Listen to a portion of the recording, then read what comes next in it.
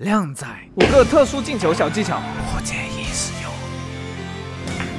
青铜目标球在袋口，直接打太简单，瞄这里，一库、两库、三库，打进，潇洒走人。白银这颗黑球打中袋被阻挡住了，瞄准最薄边，大力击打就能改变黑球的分离线路，顺利打进中袋。黄金袋口球被阻挡住了进攻线路，多数人会选择用低杆打进袋口球，其实这是非常难的。我们可以选择用高杆击打。